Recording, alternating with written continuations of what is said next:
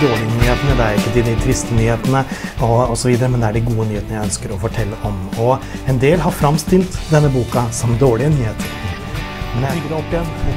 Bygger opp dine tanker, slik at du, du ser sannheten. Eh, og, og gi deg noen sannheter som gjør at du kan, du kan bli fri.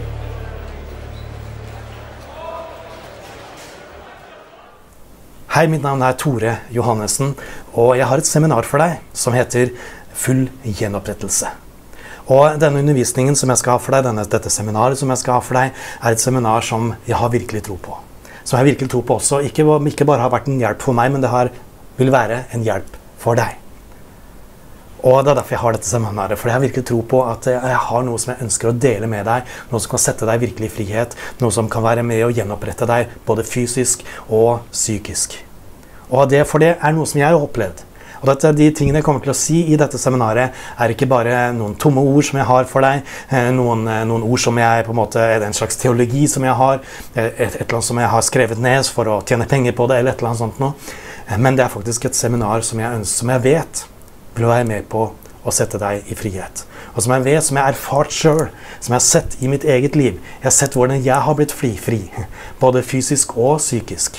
Ikke det at jeg var, eh, var veldig, veldig psykisk uh, syk, egentlig. Men jeg, jeg, slet med depresjoner, eh, jeg slet med søvnløshet, jeg slet med fordømmelse i, ve i veldig stor grad. På, på, veldig mange områder så slet jeg med fordømmelse. Jeg, slet med et dårlig selvbilde. Eh, og jeg, i tillegg til det så slet jeg med en sykdom i over ti år som ingen lege kunne gi svar på. Og dette seminaret det går ut på det. Hvordan, hvordan fant jeg ut av disse tingene? Hvilke nøkler fant jeg?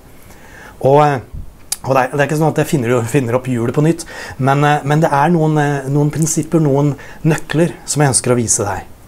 Og det vil jeg ønske, ønsker å vise deg gjennom dette seminaret. Så ønsker jeg å vise deg noen nøkler, slik at du også kan få lov til å erfare noe av det jeg har erfart. Og erfare at det er gode nyheter. Du vet at eh, Evangeliet, Guds ord, det betyr gode nyheter. Dette her er gode nyheter. Og for mange kristne så det ikke, har det ikke vært gode nyheter. Det har vært de triste nyhetene, de, de frustrerte nyhetene osv. Og det har ikke satt oss i frihet på mange mange områder. Kanskje gjort oss mer fordømt istedenfor å sette oss i frihet. Men dette seminaret ønsker å løfte deg opp, det ønsker å gi deg inspirasjon, det ønsker, ønsker, ønsker å være eh, oppmuntrende for deg. Jeg ønsker ikke at det skal fordømme deg, men jeg ønsker at det skal være til en frihet og til en glede for deg. Og det er gode nyheter jeg har å bringe til deg, så få med deg dette seminaret, som jeg har virkelig tro på. Og gå på mine sider www.bibelundervisning.com. Der kan du melde deg på eh, dette seminaret. Og eh, Seminaret er eh, gratis, men følg deg fri til å gi en gave. Gi en, gi en avgift eh, til dette seminaret, gjerne, eller gi en gave. Jeg ønsker, så, så, langt som mulig så ønsker jeg at min undervisning skal være gratis. Men, men det gjør ikke av seg sjøl, så, så, vær gjerne med og støtt, og støtt opp, opp om både det jeg gjør på nettet, og eh, det gjør også Jeg jobber ute i Thailand og mot et unådd folkeslag. Så vær med og støtte oss som familie også.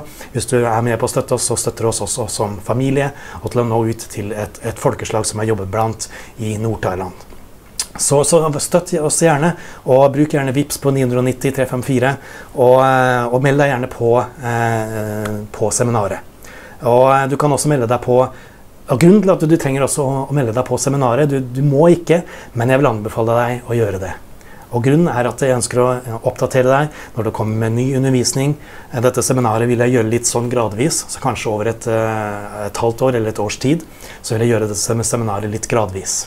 Eh, så alt kommer ikke på en gang. Eh, så, så Derfor så ønsker jeg at du, du, skal få oppdateringer når jeg kommer med ny undervisning. Så Derfor så, så meld deg på min oppdateringsliste å melde, det, er en måte å melde deg på dette seminaret på. Og som sagt, eh, følg også gjerne fri til å gi en gave. Og gå til mine sider www.bibelundervisningen.com og på nettbibelskolen.com, og der finner du dette seminaret.